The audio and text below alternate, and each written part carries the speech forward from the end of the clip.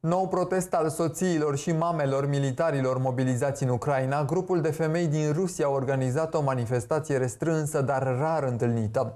Ele s-au strâns și și-au strigat nemulțumirile în fața Ministerului Apărării de la Moscova, ocazie cu care au cerut întoarcerea soldaților mobilizați de pe frontul din Ucraina.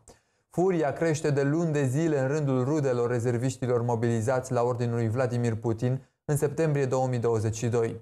Un subiect sensibil pentru autorități, care au avut grijă până acum să nu reprime această mișcare de protest în plină expansiune.